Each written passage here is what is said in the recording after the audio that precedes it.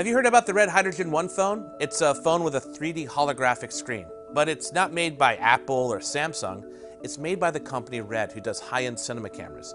These cameras have been used to make movies like The Hobbit, Straight Outta Compton, and pretty much anything on Netflix. Well, recently I got to see a prototype of the Red Hydrogen One phone and its four-view screen, and I'm here to answer your questions about it as best I can. Well, 4View is uh, kind of the name Red calls the display. And the prototype I got to see, we saw a bunch of clips on it. Some were from movies, some were actually shot with the phone, and there were photos and videos. Um, and when you're looking at the screen, it's basically as if you're wearing 3D glasses. Is the best way I can describe it. But unlike when you're in a movie theater and you move your head a little bit and the 3D effect is off, the cool thing is, is if I move the phone a little bit or twisted it, I could still get the same 3D effect. And I didn't have to wear 3D glasses. I think that's really important. The downside is we weren't able to take photos or videos of the screen, and I think the reason is if you saw a 2D photo of this screen, it wouldn't look very impressive at all. And seeing it in person, you get the whole effect, and it worked really well. And this was just a prototype. It's, it's pretty big, actually. It's not unwieldy, though. I would say it's probably about the size of an iPhone 8 Plus in a big case, maybe a little bit bigger than that. Think of like OtterBox size case. So it's definitely something that um, is not petite, it's not small, but what's interesting about it is the way it looks too. It has these scalloped edges, and the edges are reminiscent of the scalloped edges around the lens lock on the mount of a red camera, which I thought was kind of cool. When you hold the phone, your fingers fit perfectly in the scallops, and it felt very comfortable to hold. Um, but yeah, it's definitely not going to win any Tiny Phone Awards. I did not get to use any of the cameras, disappointingly. But when he walked into an event, a red employee had a phone and took a picture of us.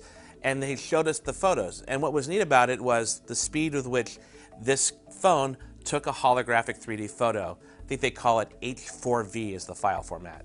Um, and he showed it to us on the screen. You could see it right away. And it looked really cool.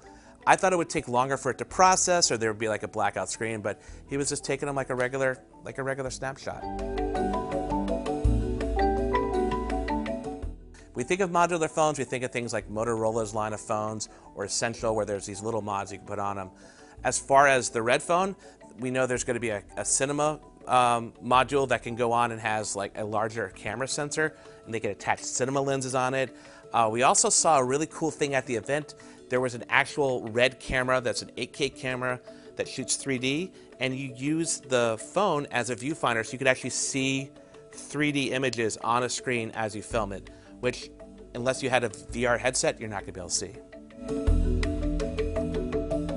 So another fun thing about the event I went to is they had other companies come in, including uh, Leia, and Leia had a platform that allowed people to take video games and turn them into this 4V format, so they could turn a video game into a 3D game that could be played on the Red Hydrogen One. So that's promising that Red's already looking into how you might get not only movies and TV, but also games on there.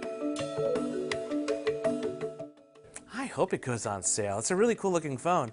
We know that they had a bunch of pre-orders and they've shut that down for right now. Last week we heard Verizon and AT&T are on board to sell the phone and that's pretty exciting, but we still don't know exactly when. They said maybe August or September.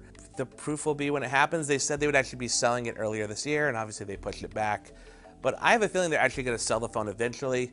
When that will be is the big question. I hope it's sooner than later because it looks pretty exciting. Mm, as far as it is called the Hydrogen One phone, and that last word is the part we don't know about yet because we haven't had a chance to make a phone call on it or send a text message or log on to the internet. I know it runs on Android, and but right now what I saw was a very early prototype. There's at least two more prototypes they have to go through before they are ready to actually manufacture them. This phone is not for everybody, and I don't think Red thinks it is for everybody either. I think this phone is for Jim Jannard, who runs Red. I think he's making the phone he wants. I think he's making it do things that he sees phones can't do right now, like a 3D display, uh, filming this unique content, but also using the modularity that some of his cinema cameras have and putting that into a phone. I think he's interested in not only the phone, but also making this whole ecosystem that can support the phone, and perhaps that leads to other phones from other companies like this. I think if you're someone who's into cinema, the phone with the cinema module is very interesting because Red cameras are amazing, but they are definitely on the higher end of uh, pricing. And if you're buying a 1,200 or $1,700 phone and a, a module that goes on that that can actually shoot Red quality cinema video, that will appeal to those people. I also think it's going to appeal to people who are early adopters who just want to see what this phone's all about. Um, but I don't think this is going to be something that you're going to see in everyone's pocket. That being said, um, a little background Jim Jannard. He uh, ran the company Oakley, the sunglass company, and when he was pivoting from that into making cinema cameras, a lot of the same questions that we're asking about the phone, people were asking about how a guy making sunglasses is going to make cinema cameras. So I would uh, short sell him in all. In fact, I'm really excited to see how he evolves it. Uh, I think he's got a very pragmatic approach to it all, and I think that's kind of appealing to me.